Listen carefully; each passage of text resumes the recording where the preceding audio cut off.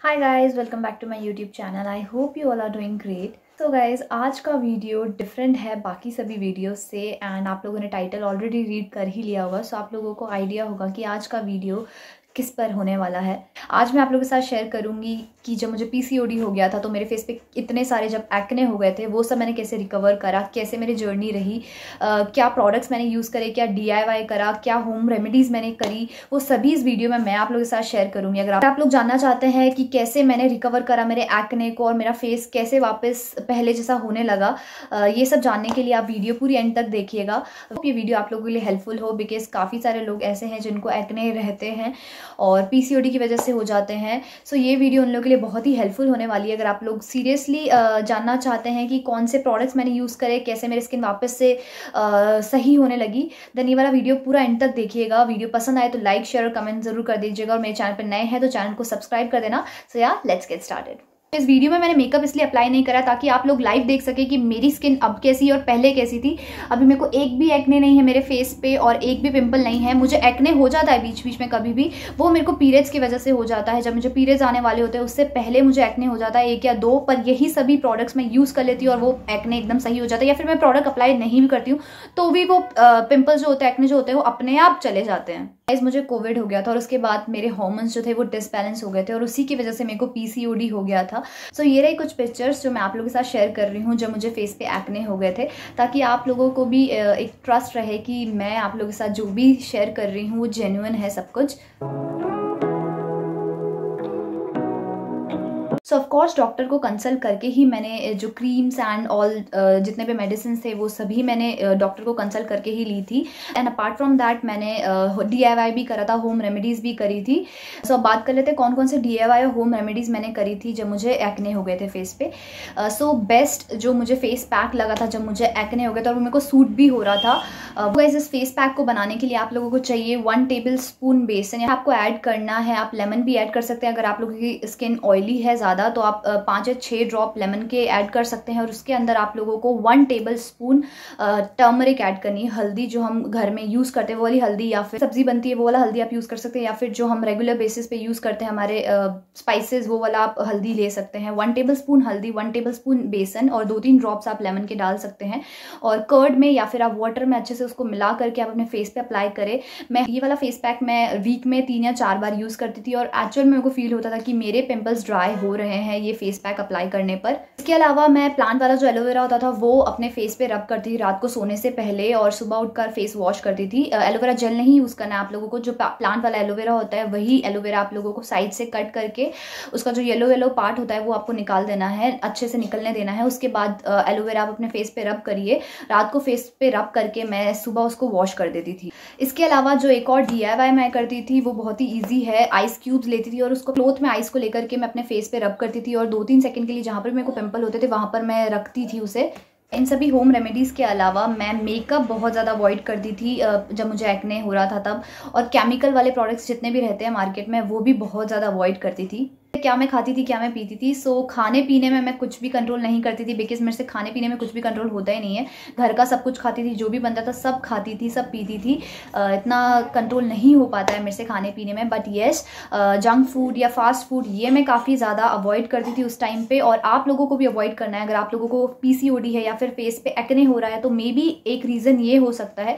सो आप लोगों को अवॉइड करना one more important point is आप लोगों को पानी बहुत ज़्यादा पीना है। मैं काफ़ी ज़्यादा पानी ज़्यादा से ज़्यादा पानी में पीती थी उस टाइम पे तो आप लोगों को पानी बहुत ज़्यादा पीना है। शेयर कर रही हूँ कि कौन कौन से प्रोडक्ट्स मैंने यूज़ करे जो हीरो हैं इस वीडियो के और जिन प्रोडक्ट्स को यूज़ करके मेरे एक्ने एक्चुअल में कंट्रोल हुए और सही हो गए।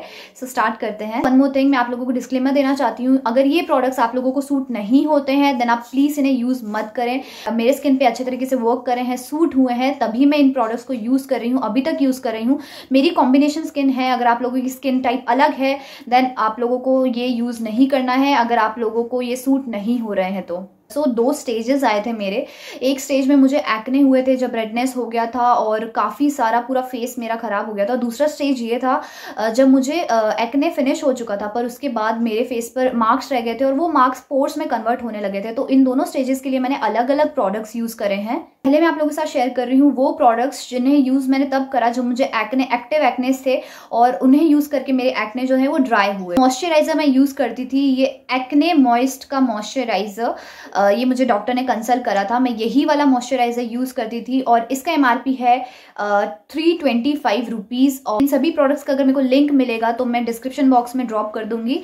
अदरवाइज़ आप लोग स्क्रीनशॉट लेकर के आप कोई भी केमिस्ट शॉप से बाय कर सकते हैं ये सभी प्रोडक्ट्स ये मॉइस्चराइजर बेस्ट मॉइस्चराइजर लगा और मेरे फेस पे बहुत ही अच्छे से ये सूट हो गया।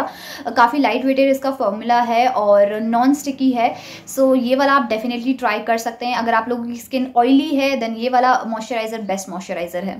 सभी प्रोडक्ट्स का प्राइस थोड़ा सा ज़्यादा है बट ये प्रोडक्ट्स बहुत टाइम तक चलते हैं। दो या तीन महीने तक इजीली चल जाते हैं so don't worry guys so मैं इस क्रीम को यूज़ करती थी जब मैं बात ले लेती उसके बाद जब मेरा फेस ड्राई होता था दिन में एक बार मैं इस क्रीम को तब अप्लाई करती थी।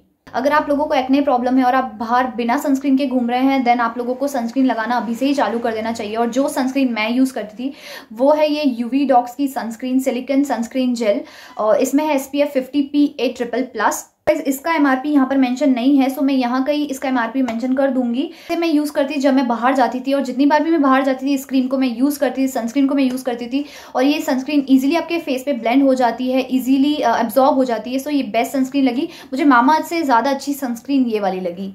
नेक्स्ट है एपीडियो एडेप्लिन जेल और ये प्रोडक्ट मेन प्रोडक्ट है बिकॉज़ uh, इसे ही हमें पिंपल पे अप्लाई करना होता है। जहाँ जहाँ भी हमें पिंपल होते हैं वहाँ पर इसे हमें डॉट uh, डॉट करके अप्लाई करना होता है और ओवरनाइट हमें इसे छोड़ देना होता है। तो ये वाला मेन प्रोडक्ट है इंपॉर्टेंट प्रोडक्ट है। अगर आप लोगों को एक्ने है तो ये वाला प्रोडक्ट ज़रूर यूज़ करें।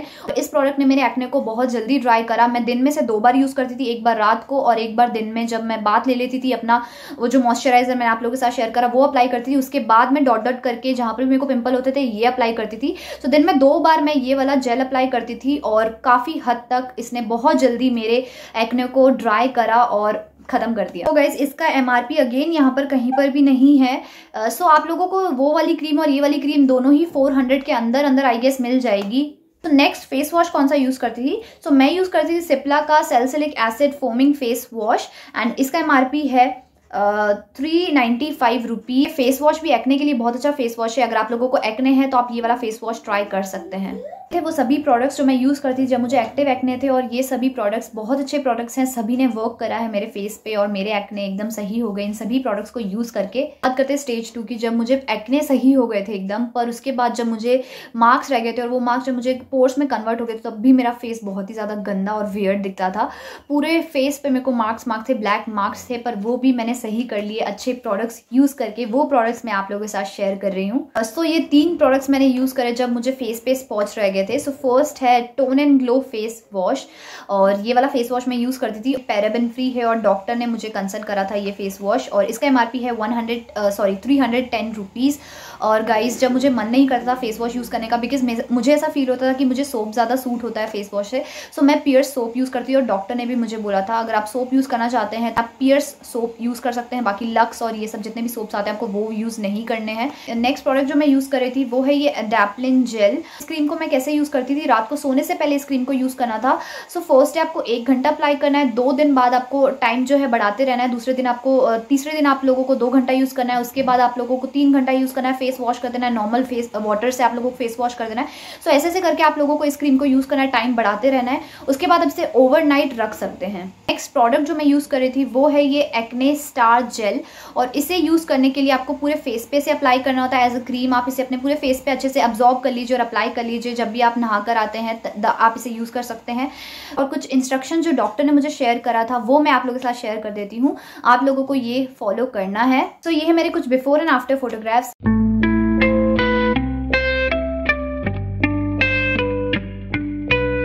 yeah guys that's that I hope आप लोगों को ये वीडियो पसंद आई हो और वीडियो आप लोगों के लिए हेल्पफुल रही हो बिकॉज़ ये वीडियो बनाई ही इसलिए थी ताकि आप लोगों को काफ़ी हेल्प हो जाए इस वीडियो से। अगर वीडियो अच्छी लगी हो तो लाइक शेयर और कमेंट ज़रूर कर देना। Till then bye guys see you in the next video